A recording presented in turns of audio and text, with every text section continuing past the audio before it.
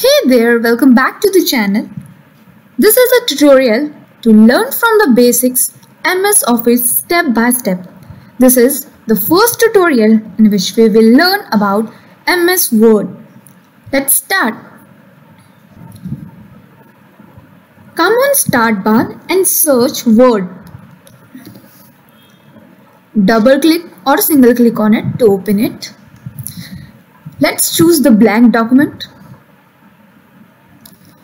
So we are here. ऊपर यहाँ पे it is written document one since we have we have not given any name to this document. So let's type something and give the name. So we'll come here and click on the save. It will ask about the path. So let's choose the path by browsing and the desktop.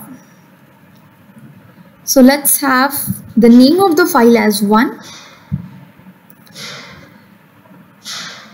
Okay, I think I have that file. Okay, first.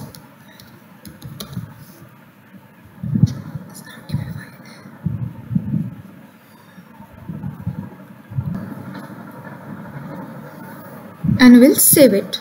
So now जो हमारा file है उसका नाम first हो गया है Let's check the desktop.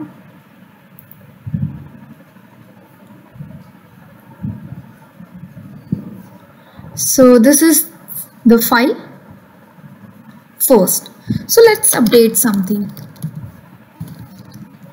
So save करने के लिए we can go to file and save or we can use control plus S to save the file.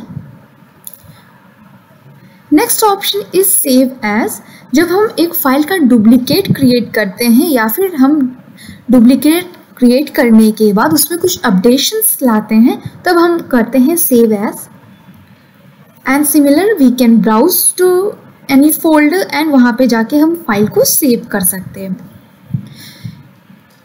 So the first one is the new new से हम new file create कर सकते हैं. और बहुत सारे यहाँ पे टेम्पलेट्स भी पहले से दिए हुए होते हैं. वी कैन हैव इट और we can search for online template also so next one is to open so यहाँ पे जितनी भी फाइल्स अब तक क्रिएट की गई हैं, वो यहाँ पे शो होंगी latest file and we can just click on them and we can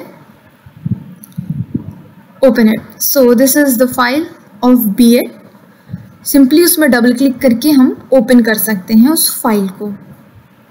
So let's close it okay इसके बाद ऑप्शन आता है सेव का सेव एज फिर प्रिंट का ऑप्शन आता है। इस पर हम क्लिक क्लिक करेंगे।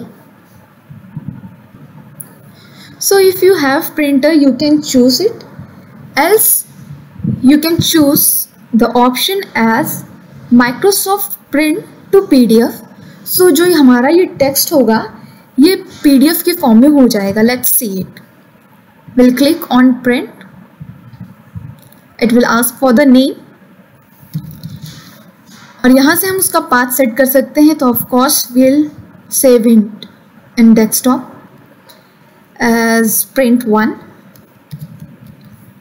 one so let's check the desktop so ये रही हमारी file print one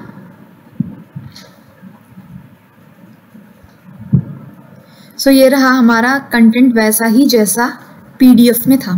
नॉर्मली जब हम कभी भी कोई काम एम एस वर्ड में करते हैं और उसको प्रिंट करवाना होता है उसको हर टाइम आप लोग पीडीएफ में कन्वर्ट करें ताकि उसका फॉर्मेट ना चेंज हो। क्योंकि बहुत से लोग M S office sixteen use करते हैं कुछ लोग नाइनटीन कुछ लोग सेवन तो फिर वो फॉर्मेट चेंज हो जाता है। तो पीडीएफ में कन्वर्ट होने के बाद एग्जैक्टली सेम प्रिंट आएगा फॉर्मेट में कोई चेंज नहीं होगा।